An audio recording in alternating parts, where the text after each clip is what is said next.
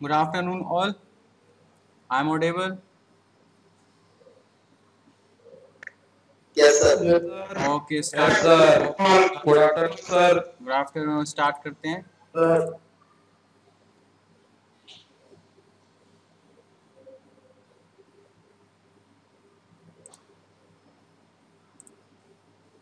तो last class में हमने स्टार्ट किया था कंपास सर्वे कंपास सर्वे में हम चल रहे थे कि टू टाइप के कंपास होते हैं प्रिज्मेटिक एक सर्वेयर कंपास आठ पॉइंट हमें डिस्कस किए थे, दोनों में डिफरेंस क्या है? तो एक डिफरेंस हमें निकल के आया था कि जो प्रिज्मेटिक कंपास है, वो आपका यूज़ करता है होल सर्कल बेरिंग सिस्टम और जो आपका सर्वेयर कंपास है, वो यूज़ करता है आपका क्वाड्रेट सिस्टम दोनों में डिफरेंस भी मैंने बता दिया था। तो अब आगे चलते हैं यहाँ से।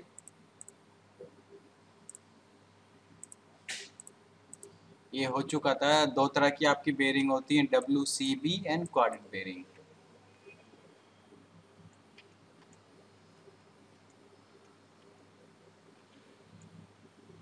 उसको कन्वर्ट करना ही उसके बाद आता है आपका fore bearing and back bearing दोबारा ध्यान से जरा पूरे इस स्ट्रक्चर को समझना कि सर्वेइंग में लीनियर मेज़रमेंट में हम यूज़ करते थे टेप और चेन का। ग्राउंड पे अर्थ की सरफेस पे जो हमें मेज़रमेंट करनी होती थी। बट अब बात आती है क्योंकि क्लासिफिकेशन जो है सर्वेइंग का, वो बेस्ड ऑन इंस्ट्रूमेंट में जो सेकंड क्लासिफिकेशन आता है, वो आता है कंपास सर्वेइंग यानी कि कंपास की हेल्प से प्लस टेप और चेन भी यूज़ करके हम ग्राउंड पे मेज़रमेंट ले सकते हैं, जिससे हम एंगल मेजर कर सकते हैं डायरेक्शन मेजर कर सकते हैं और चेन और टेप की हेल्प से लेंथ मेजर कर सकते हैं। चेन और टेप केवल अगर हम यूज़ करें तो छोटे ग्राउंड और फ्लैट ग्राउंड के लिए ठीक है बट अगर इरेगुलर ग्राउंड है और बड़ा ग्राउंड है तो उसके लिए हम कंपास भी यूज़ कर सकते हैं। दो तरह के कंपास होते थे।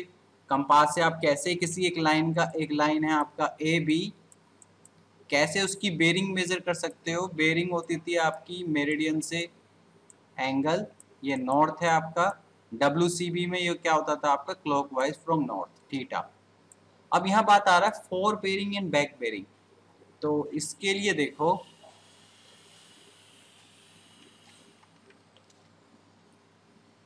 अगर आपके पास कोई ग्राउंड है, ये आपका जो व्हाइट कलर का, ये आपका प्लॉट है और यहाँ पे आपको ना मेज़रमेंट करनी है कुछ इस तरीके से। ये लाइंस हैं, जिनको मेज़रमेंट करना है। तो आप पहले ए पर कंपास रखोगे और बी पर जाओगे। बी को देखोगे, फिर सी पर, फिर डी पर फिर ई e पर जाओगे और फिर एफ़ पर जाओगे। ठीक है? लेंथ किससे मेजर करोगे आप? चेन और टेप से। L one L two L three L four L five ये लेंथ हो गई। बट अब हम बात कर रहे हैं फोर बेरिंग क्या होता है? बेरिंग तो आप समझते हो ना मेरिडियन से एंगल लेकिन इसमें लग गया फोर और बैक बेरिंग क्या होती है? तो जब हम आगे की ओर प्रोसीड करते हैं ए से बी की ओर आगे की ओर जाते हैं तो जो एंगल हम मेजर करते हैं मेरिडियन से, उसको बोलते हैं फोर बेरिंग तो अगर मैं बात करूँ यहाँ पे अगर तो यहाँ पे क्या होगा? ये होगा आपका नॉर्थ और इस लाइन का एंगल नॉर्थ से होगा थीटा वन या थीटा ए कह दो इसे. इसको क्या बोलेंगे हम? फोर बेरिंग फोर बेरिंग क्योंकि हम आगे की ओर ए से बी की ओर जा रहे हैं और जो एंगल हमने मेजर किया वो हो गया फोर बेरिंग अब हम बी से सी की ओर जाएँगे तो यहाँ पर भी हमारा होगा नॉर्थ और ये एंगल जो होगा, ये एंगल छोटा सा, ये थीटा टू या बी ये क्या होगा आपका फोर बेरिंग तो फोर बेरिंग तो समझ गए, जब हम आगे की ओर फॉरवर्ड चलते हैं, आगे की ओर तो जो एंगल हम मेरिडियन से मेजर करेंगे, उसको बोलेंगे फोर बेरिंग बैक बेरिंग होती है जब पीछे की ओर चलते हैं। ए से बी आप गए, फिर बी से ए पे जा रहे हो। ठीक है? और डब्ल्यू सी की बात हो रही है तो नॉर्थ से होगा एंगल तो एंगल क्या होगा? नॉर्थ से इस लाइन का एंगल देखना है हमें ये। ये। तो ये जो आया है थीटा थ्री ये क्या है आपका? बैक बेरिंग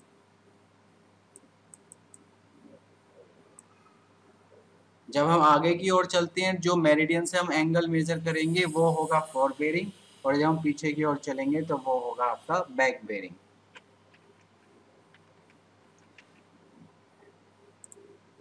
क्या कह रहा है ये? देखो इधर। The bearing of a line measure in forward direction of survey line survey line वही लाइन जिस लाइन को जिस लाइन का मेरे बेरिंग मेजर करना चाहते हो।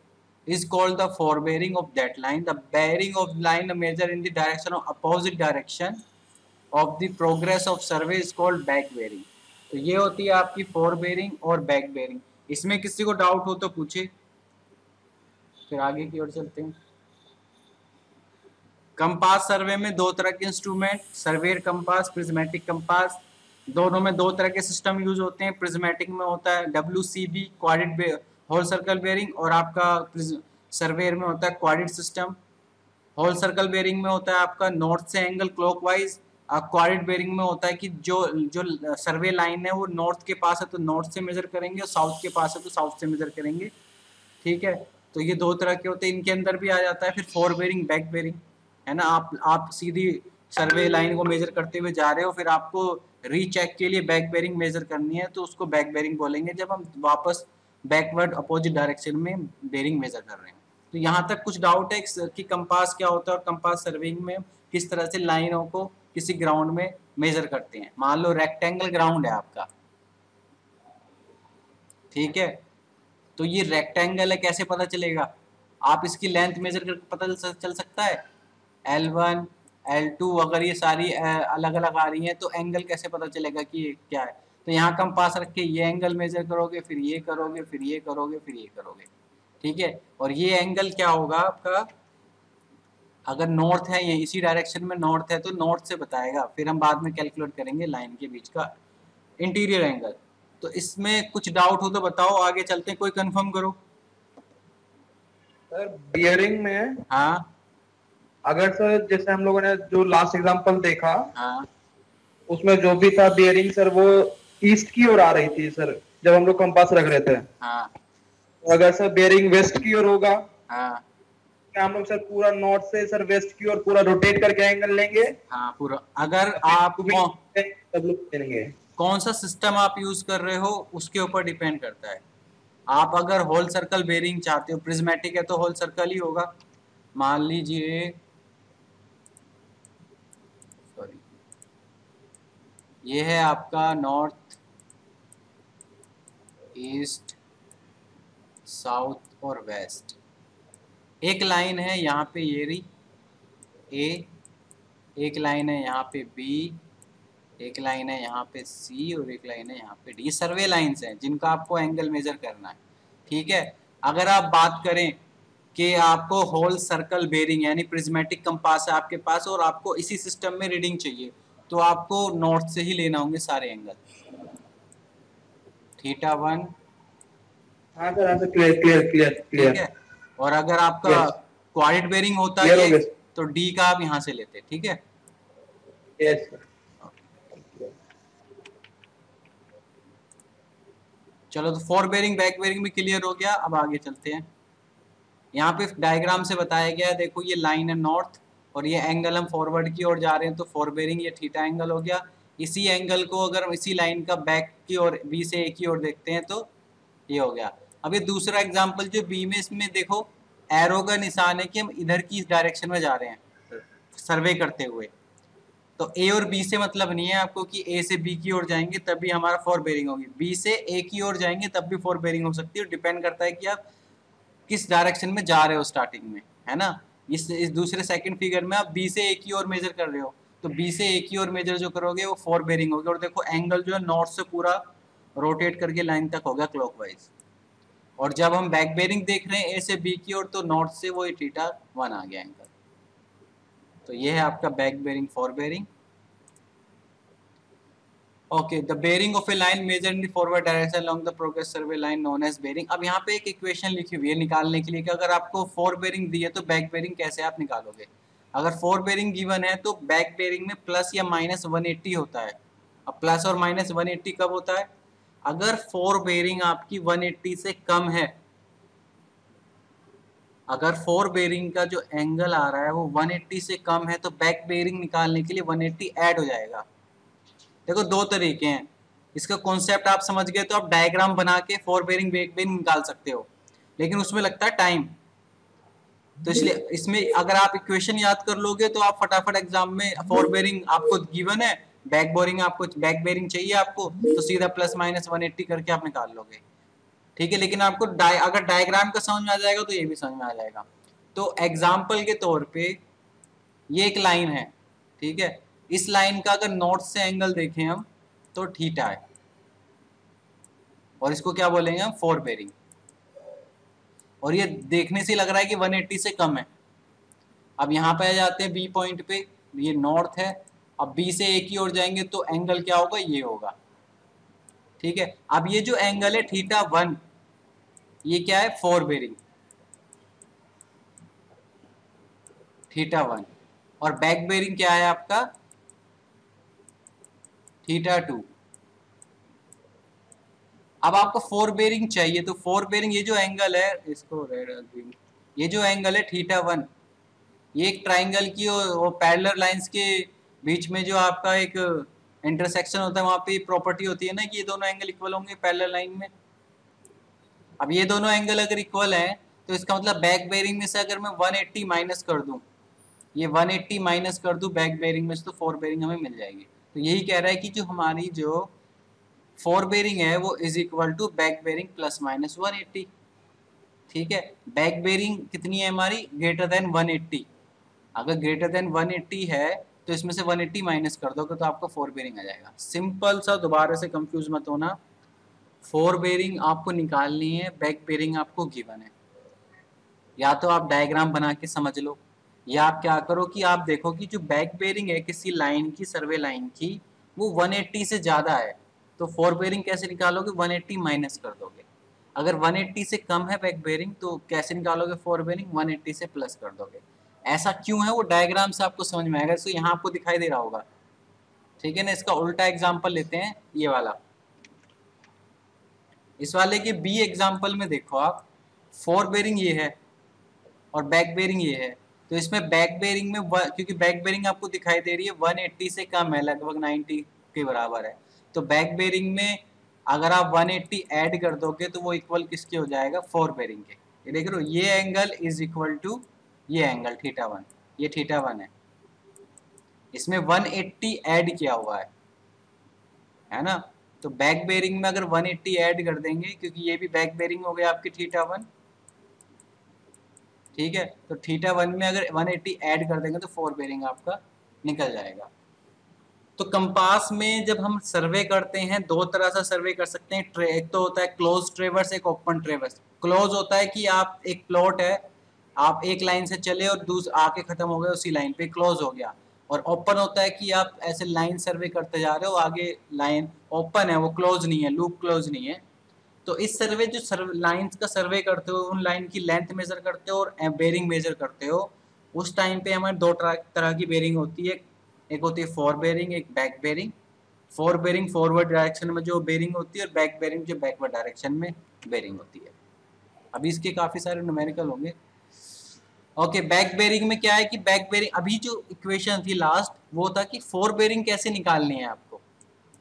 बैक बेरिंग में प्लस माइनस वन एट्टी करना है। अब जो दिखा रहा है, वो अब कह रहा है कि अगर आपको बैक बेरिंग गिवन है फोर बेरिंग गिवन है सॉरी फोर बेरिंग गिवन है तो बैक बेरिंग कैसे निकालें तो same formula plus minus one eighty और प्लस वन एट्टी कब करना है? जब वैल्यू वन एट्टी से कम है। माइनस वन एट्टी कब करना है? जब वैल्यू वन एट्टी से इक्वल है। तो कितना सिंपल है? फोर बेरिंग निकालनी है आपको। बैक बेरिंग गिवन है तो पहले आप देखोगे कि बैक बेरिंग 180 से कम है तो 180 ऐड कर दो। 180 से ज़्यादा है तो 180 माइनस कर दो। ठीक है? एक एग्ज़ाम्पल यहाँ पे लिखा हुआ है। इसको अभी बस ऐसे ही समझ लो, बाद में अच्छे से समझा दूँगा।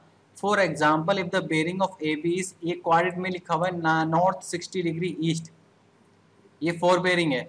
इसको बैक बेरिंग में कन्वर्ट करना है तो केवल हमारे कोऑर्डिनेट चेंज हो जाएँगे। यहाँ साउथ हो जाएगा या वेस्ट हो जाएगा, रहेगा हमारा सिक्सटी डिग्री ये कैसे होगा, ये बताता हूँ मैं। ओके तो ये हो चुका है लास्ट क्लास में, फिर एक बार जल्दी से कर लेते convert the following W C B into reduce bearing यानी कि आपको इसको करना है क्वारिट बेरिंग में। ठीक है, जल्दी जल्दी कर देता हूँ मैं। 49 डिग्री है। 49 यानी कि फ़र्स्ट क्वाड्रेंट में ये नॉर्थ है, ये ईस्ट है।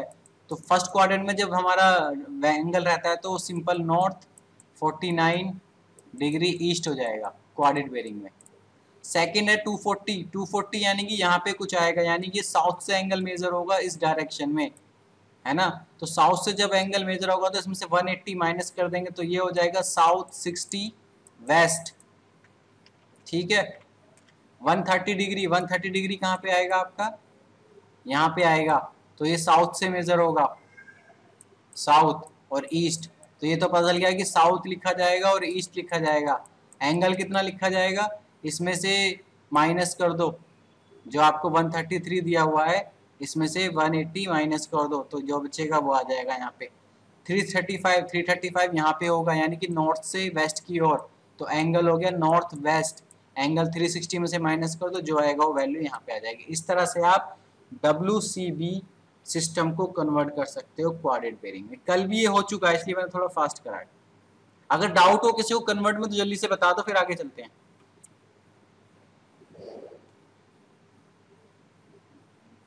चलो तो आगे चलते हैं। ये फिर सॉल्यूशन दिया हुआ है, इसका जो मैंने अभी बताया है।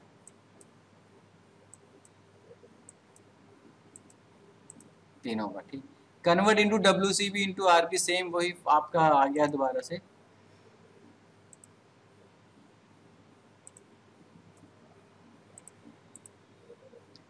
अब आ गया आपका reduce bearing into the whole circle bearing उल्टा। 60 डिग्री नॉर्थ ईस्ट जब भी होगा तो डब्ल्यू बी में 65 भी हो जाएगा ये। ये दिया हुआ है साउथ। साउथ से ईस्ट की ओर। यानी कि यहाँ पर एंगल है तो यानी कि नॉर्थ यानी कि इसमें क्या होगा? ये जो आपका सेकंड पॉइंट है सेकंड पॉइंट ये south forty degree fifteen minute ठीक है। सेकंड है साउथ से वेस्ट की ओर यानी साउथ से वेस्ट की ओर यानी कि यहाँ पे है कुछ एंगल ये एंगल मेजर ऐसा होगा। 180 प्लस हो जाएगा इसमें ठीक है। लास्ट है आपका नॉर्थ वेस्ट यानी कि यहाँ पे एंगल है ये। नॉर्थ से। इसमें क्या होगा बताओ कोई? लास्ट वाले का बताओ। Minus thirty two degree forty minute minus कितने में से माइनस किया है ये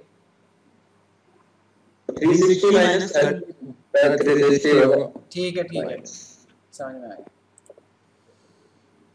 ओके ये क्या है आपका? यही सेम चीज़ है। सेम वही उसी का solution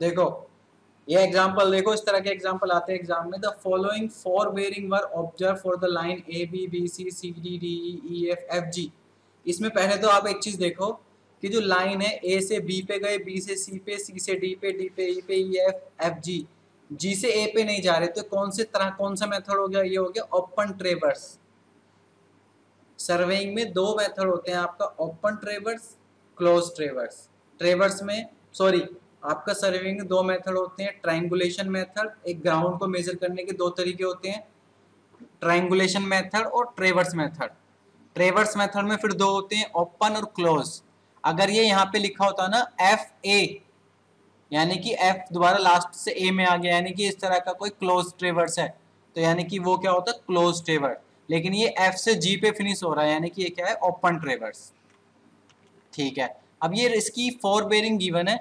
The following are the bearing were observed. Line ये ये respective determine their back bearing. तो सिंपल सा है. दो मैं बताता हूँ और आप बताना. मैंने कहा था कि बैक बेरिंग आपको निकालनी है, यानी कि 148 डिग्री की बैक बेरिंग आपको निकालनी है, यानी कि फोर बेरिंग गिवन है। तो back bearing is equal to होता है फोर बेरिंग जो है आपकी 180 से कम है। है ना? 180 से कम है तो इसको इसमें से 180 माइनस कर देंगे। तो आपकी जो बैक बेरिंग आएगी, वो आ जाएगी बत्तीस डिग्री। आप इसको थोड़ा ग्राफिकली समझ लेते हैं, फिर और आप सॉल्व करना। 148 है आपकी फोर बेरिंग यानी कि अगर ये हम बनाए north east south west 148 degree ये 90 है 180 है तो 148 डिग्री यहाँ आएगा। ये लाइन आएगी सर्वे लाइन यानी कि ये ए पॉइंट है और ये आपका बी पॉइंट है। और यहाँ पे अगर मैं बनाऊँ नॉर्थ साउथ नॉर्थ तो ये मांग कौन सा एंगल रहा है? बैक बेरिंग तो बैक बेरिंग क्या होगी? ये होगी। ये ये है आपकी फोर बेरिंग 148 डिग्री ठीक है, मैंने शायद गलत बता दिया है। 148 180 से कम है तो ऐड होगा सॉरी ठीक है तो ये कितना हो जाएगा? Three hundred twenty eight three hundred twenty eight degree ठीक है तो ये है आपकी फोर बेरिंग जो गिवन है। रफली बनाया हुआ है 148 डिग्री और जब हम बी से ये बी पॉइंट है, ये पॉइंट है, जब बी से ए की ओर देखेंगे तो बैक बेरिंग और नॉर्थ से एंगल मेजर करेंगे। तो ये एंगल कितना आ रहा है आपका? 328 डिग्री ग्राफिकली इस तरह से है और आपका इक्वेशन बेस इस तरीके से कि अगर 180 से लेस है तो 180 ऐड हो जाएगा और 180 से कम है, ज़्यादा है तो 180 माइनस हो जाएगा। तो अब मेरे को बताओ सेकंड वाले की बैक बेरिंग क्या होगी? 65 डिग्री की।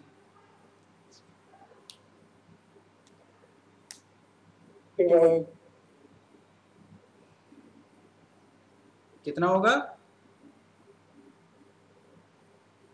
45 45 241 245 होगा ना 180 इसमें ऐड हो जाएगा क्योंकि ये 180 से कम है।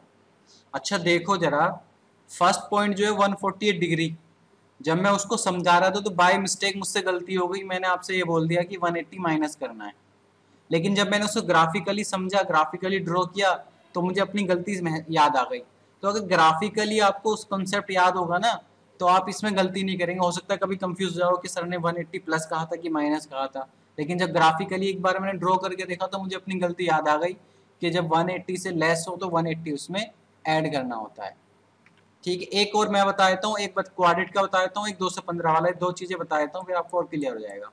215 जो है फोर बेरिंग है। अगर हम इक्वेशन की बात करें तो बैक बेरिंग क्या हो जाएगी? क्योंकि ये 180 से ज़्यादा है तो 215 माइनस एक सौ अस्सी। तो ये आ जाएगा आपका 35 डिग्री। तो बैक बेरिंग 35 आ गई। अब इसको ग्राफिकली समझते हैं। ये है आपका नॉर्थ साउथ ईस्ट और वेस्ट 215 लगभग यहाँ पे आएगा। यानी कि ये पॉइंट है, ये कौन सा पॉइंट है? Fourth point one two three fourth यानी कि डी से ई e की ओर जा रहे हैं। ठीक है? और ये एंगल कितना है आपका? नॉर्थ से 215 तो यहाँ पे अगर हमारा दूसरा नॉर्थ होगा तो ये एंगल होगा हमारा बैक बेरिंग ये वाला। ये हमें निकालना है। तो आपको दिख रहा होगा ये बैक बेरिंग जो है, ये इसके इक्वल होगा, इस वाले एंगल के। है ना? और ये एंगल किसके होगा? कि अगर हम 180 से माइनस कर दें यानी कि 180 इसमें से माइनस कर दें तो ये एंगल आ जाएगा तो 35 आ रहा है। ठीक है? तो इस तरह से होगा। अब बात करते क्वाड्रेट वाले की। एक बार इनका सॉल्यूशन भी देख लेंगे। याद रखना क्या बताया मैंने? North 36 west north west 36 degree यानी कि ये एंगल है। और ये कौन सा है? ये है आपका ई e एफ़ यानी कि ई e से हम जा रहे हैं एफ़ की ओर। ये है आपका एफ़ और यहाँ पर भी हम बनाते हैं ये नॉर्थ तो ये लाइन कहाँ आ रही है हमारी? ये आ रही है यहाँ पे तो ये हो जाएगा साउथ और ईस्ट तो इसका आंसर जो होगा बैक बेरिंग का साउथ और ईस्ट में होगा. बट एंगल कितना होगा?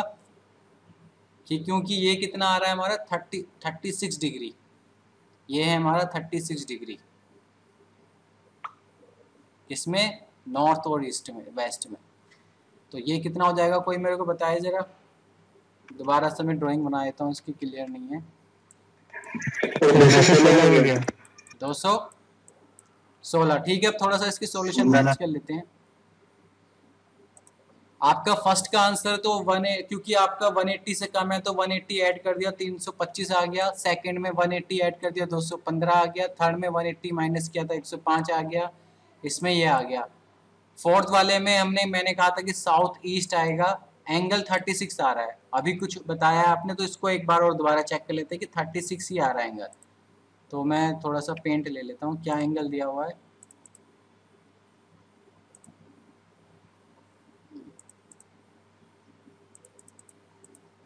कहाँ चला गया? नॉर्थ थर्टी सिक्स वेस्ट इसको थोड़ा समझते हैं।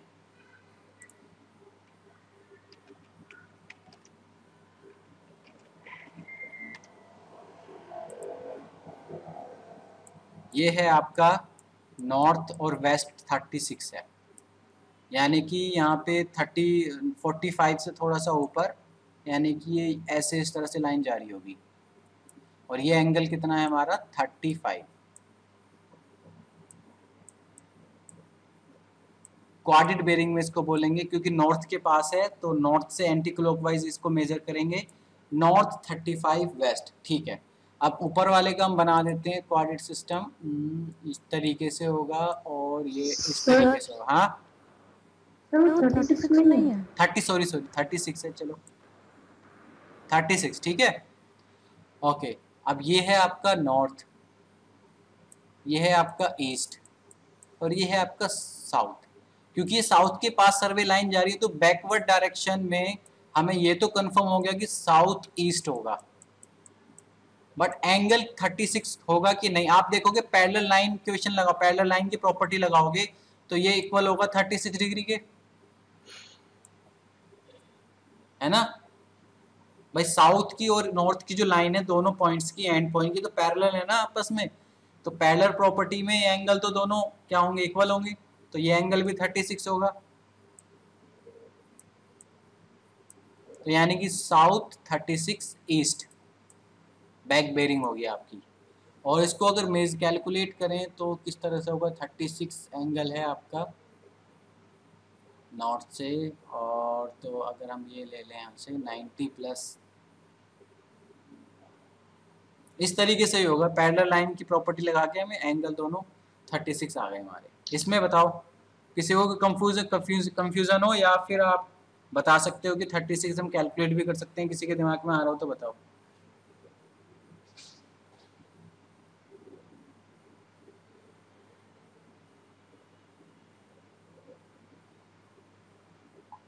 ये समझ में आ गया आपको? कैसे फोर बेरिंग को फोर बेरिंग में कन्वर्ट करते हैं? ठीक है। ये तो सॉल्यूशन है इसका। एक और एग्जांपल दिया हुआ है। The fore bearing of the line A B C D are these find the angle B C D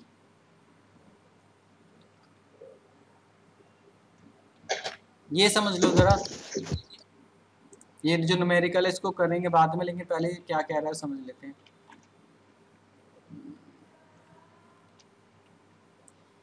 ये कह रहा है कि दो सर्वे लाइन है आपकी, ये दोनों सर्वे लाइन है। इनके बीच का एंगल मेजर करना है। मैंने आपको लास्ट में भी लास्ट क्लास में बताया था कि जो कंपास है उससे हम बेरिंग मेजर कर सकते हैं। दो लाइन के बीच का एंगल मेजर नहीं कर सकते। लेकिन अगर अगर में बेरिंग नॉन है तो हम एंगल भी मेजर कर सकते हैं। तो कैसे कर सकते हैं? देखो। ये दो लाइंस हैं जिनके हमारा एंगल बेरिंग हमें पता है। फोर बेरिंग हो गई थीटा वन ए से गए हम बी की ओर, ये बी है। थीटा वन हमें पता है फोर बेरिंग नॉर्थ से। अब यहाँ पे अगर हम आ जाते हैं तो बैक बेरिंग क्या होगी? इस ए और बी की बैक बेरिंग क्या होगी? नॉर्थ से ये वाला एंगल ये वाला एंगल ये बैक बेरिंग है। हम ये भी, हम फोर बेरिंग से बैक बेरिंग निकाल सकते हैं ना तो बैक बेरिंग क्या होगी इसकी? थीटा बी लिख देता हूँ इसको बैक बेरिंग क्योंकि theta one fore bearing less than 180 है तो बैक बेरिंग क्या होगी? थीटा वन प्लस वन ठीक है फोर बेरिंग हमें पता था और बैक बेरिंग हमने निकाल ली। क्योंकि हमें सारी फोर बेरिंग पता है बैक बेरिंग हमें निकालनी है। तो अगर बी से हम सी की ओर जाएँ बी से सी की ओर जाए तो फोर बेरिंग हमें पता होगी नॉर्थ से इस लाइन का ब्लू लाइन का angle theta two theta two भी हमें पता है। अब इसकी अगर हम बैक बेरिंग निकालें तो बैक बेरिंग होगी ये आपकी नॉर्थ से।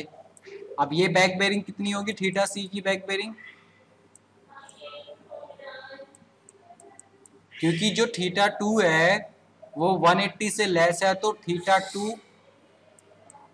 प्लस वन तो जो इक्वेशन मैंने अभी लास्ट में बताई थी, वो इक्वेशन लगा के हमने हर पॉइंट का बैक बेरिंग निकाल लिया फोर बेरिंग हमें कंपास से मेजर कर लिया था। ठीक है? ओके थीटा वन है आपका back fore bearing theta two भी है आपका फोर बेरिंग थीटा बी है आपका बैक बेरिंग थीटा आपका दूसरा बी भी बैक बेरिंग है। अब एंगल मेजर करना है, ये ब्लू वाला। ये एंगल मेजर करना है, जिसको मैं डार्क कर रहा हूँ। अगर मैं, जो हमारी है बैक बेरिंग बी ए की बैक बेरिंग क्या है? थीटा बी उसमें से fore bearing of B C minus कर दूँ, थीटा टू तो क्या निकल के आएगा? एंगल निकल के आ जाएगा इंटीरियर एंगल कोई बताओ मेरे को? है ना?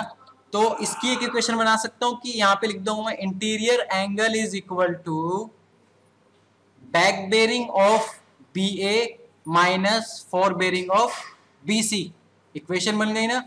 कि अगर आपको मान लो किसी सी पॉइंट का निकालना है सी पॉइंट का इंटीरियर एंगल निकालना है तो क्या होगा? Back bearing of C B back bearing of C B minus fore bearing of C D fore bearing of C D इससे आपका निकल जाएगा इंटीरियर एंगल ऑफ़ सी तो ये इक्वेशन एक बन गई, अभी आगे उसमें इक्वेशन यही लिखी हुई है, लेकिन ग्राफिकली आपको समझाना था। ठीक है? तो आपको अगर इंटीरियर एंगल निकालना है तो आपको क्या करना होगा? आपको उस पॉइंट से जिस पॉइंट पे इंटीरियर एंगल निकालना है, उससे बैकवर्ड बेरिंग में से फॉरवर्ड बेरिंग माइनस कर दोगे। इस, इसमें कोई डाउट है? किसी को बताओ कि इंटीरियर एंगल कैसे निकालते हैं?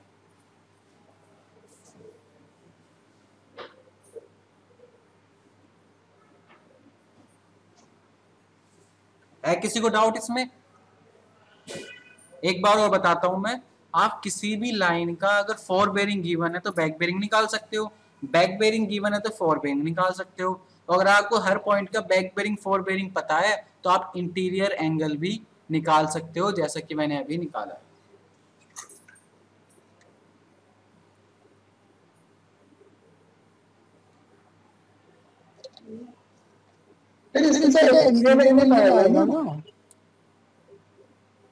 अगर मैं ये इंटीरियर एंगल ये हो गया ना ये वाला? ये इंटीरियर एंगल है एक्सटीरियर है बताओ। जिसमें मैंने टिक किया है अभी।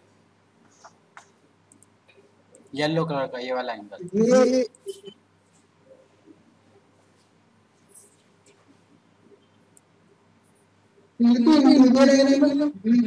ये इंटीरियर एंगल हम्म।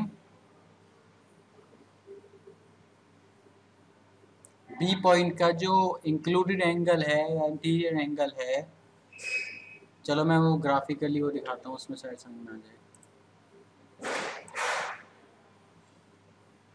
यहाँ पे जो एक ड्राइंग बनी हुई है, इसमें फोर बेरिंग गिवन है बैक बेरिंग हम निकाल लेंगे, और उसके बाद हमें ये इंटीरियर एंगल निकालना है।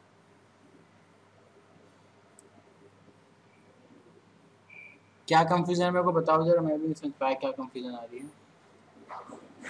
आपको ये कंफ्यूजन है कि ये इंटीरियर एंगल है कि एक्सटीरियर एंगल है? चलो एक बार को इस कंफ्यूजन को भी ख़त्म करो कि आप मान लो कि एक्सटीरियर एंगल है। मान लो ये जो येलो वाला है, ये एक्सटीरियर एंगल है। ठीक है? और ये पता कैसे चलेगा कि ये एक्सटीरियर है कि इंटीरियर है? कोई बताओ मेरे को, कैसे पता चलता है हमें कोई एंगल की वो एक्सटीरियर है कि इंटीरियर है सर आपने ये जो इक्वेशन लिखी है angle C equals to back bearing of CB minus back bearing of CD एक और लाइन चाहिए सीडी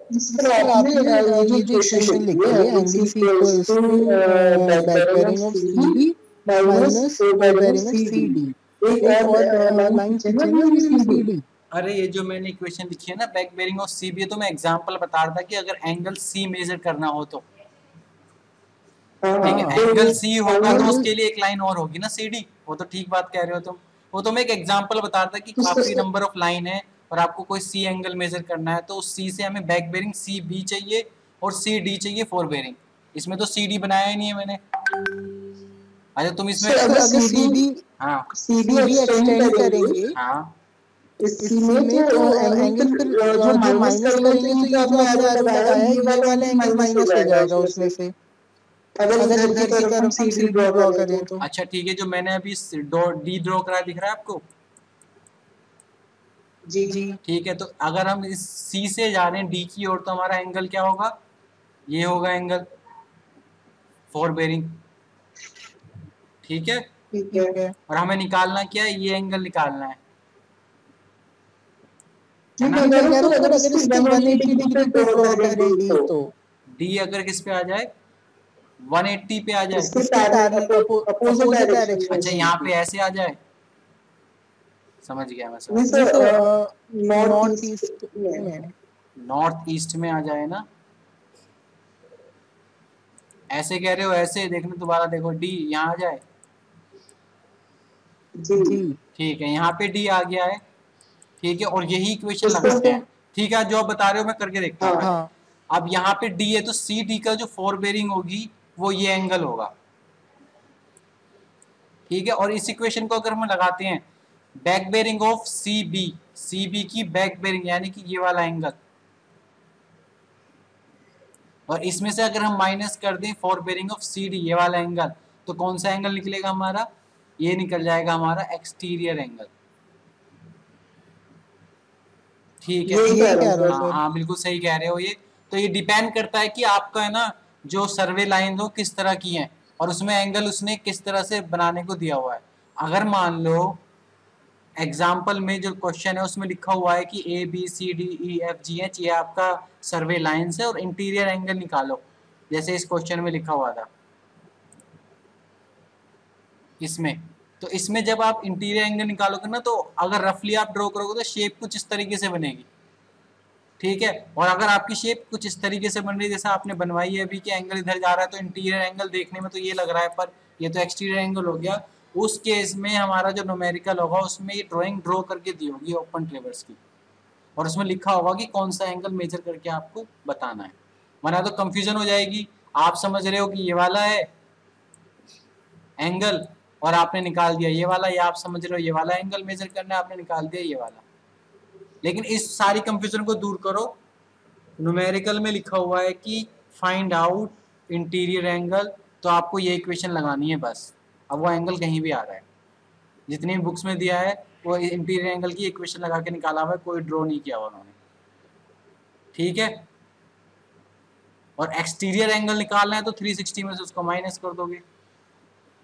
360 में से नहीं सॉरी हाँ 360 में से माइनस कर दोगे तो आपका एक्सटीरियर आ जाएगा। तो जब भी आपको कोई नोमेरिकल हो जिसमें ये लिखा हो कि आपको इंटीरियर एंगल कैलकुलेट करना है तो आपको सिंपल यही इक्वेशन लगानी है। इसमें कंफ्यूज मत होना कि वो एक्सटीरियर है कि इंटीरियर एंगल है। एग्ज़ाम्पल देख लेते हैं, शायद कोई एग्ज़ाम्पल इस तरीके का आ जाए। तो इसमें तो सारे इंटीरियर एंगल है सेम ऐसे ही निकलेंगे। ये वाला केस तो बनता नहीं है इसमें सेम ऐसे निकाला हुआ है इन्होंने। Computation angle included angle fore bearing minus back bearing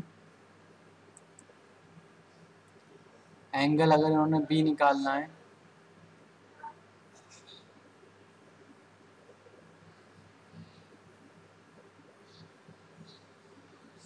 देखो, इस ड्राइंग में देखो आप। इस ड्राइंग में क्या है? ये आपका एक एंगल दिया हुआ है। और एक एंगल ये दिया हुआ है। दो एंगल है। इसमें से कौन सा इंटीरियर है, कौन सा एक्सटीरियर है? इन्होंने एक्सटीरियर एंगल जो निकाला है back bearing of A B minus fore bearing of B C जो मैंने इक्वेशन लिखवाई थी अभी इंटीरियर एंगल की वही है, ये एक्सटीरियर एंगल की।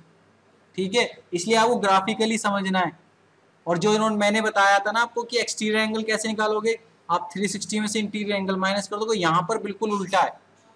तो आप कंफ्यूज हो जाओगे, सर, आपने जो बताया, यहाँ तो बिल्कुल उल्टी इक्वेशन आ रही है। लेकिन यहाँ उल्टी इसलिए आ रही है क्योंकि यहाँ पे उसे ड्रॉ करके समझाया हुआ है कि इंटीरियर कौन सा एक्सटीरियर कौन सा है। ठीक है उसने ये वाला कहा है कि इंटीरियर एक्सटीरियर और ये वाला इंटीरियर कहा है। तो आपने उसी हिसाब से फॉरवर्ड और बैक बेरिंग इक्वेशन को सॉल्व करके इंटीरियर और एक्सटीरियर निकाल लिया है। अगर मैं इस ड्राइंग को ना ड्रॉ करता और आपसे बोलता कि आप निकालिए मेरे मतलब कि मैं एग्ज़ाम्पल के तौर पे पेंट में बता देता हूँ। यहाँ कंफ्यूजन दूर हो जाएगी। ये इस तरह से एक स्ट्रेट लाइन है। ये नॉर्थ है, ठीक है? अब ये जो एंगल है ग्रीन वाला एंगल है, और एक एंगल कौन सा आपका? ब्लू वाला एंगल है। ठीक है? और मैं आपको ये नहीं बताता कि ग्रीन वाला इंटीरियर है और ब्लू वाला एक्सटीरियर नहीं बताता। तो आपको और आपसे केवल ये मैं बोल दूँ कि इंटीरियर एंगल कैलकुलेट करो। तो सेम आप इंटीरियर एंगल कैसे कैलकुलेट करोगे? एंगल बी निकालना है तो वही back bearing minus fore bearing और जो आपका इंटीरियर एंगल आया 360 में से माइनस कर दो एक्सटीरियर एंगल निकल जाएगा। बट अगर मैं आपसे बोलूँ कि ये इंटीरियर है और ये एक्सटीरियर है तो आपको थोड़ा सा फोकस करना पड़ेगा ड्राइंग में कि इंटीरियर कैसे निकलना है। किसको माइनस करके कैसे निकलेगा एक्सटीरियर और किसको माइनस करके हमारा निकलेगा इंटीरियर तो आपको ड्राइंग को थोड़ा सा ऑब्ज़र्व करना पड़ेगा था तब हो सकता है इक्वेशन थोड़ी उल्टी हो जाए। समझ गए आप सब? चलो आगे चलते हैं। कंप्यूटेशन ऑफ़ एंगल इसमें क्या दिया हुआ है? लाइन हाँ हाँ बताओ। टाइम हो गया। टाइम हो गया। सर नेक्स्ट लेक्चर का सर ओके ओके मैं अटेंडेंस डाउनलोड कर लूँ पहले 31 स्टूडेंट प्रेजेंट है। डाउनलोड ठीक है फिर लीव कर सकते हो आप। ओके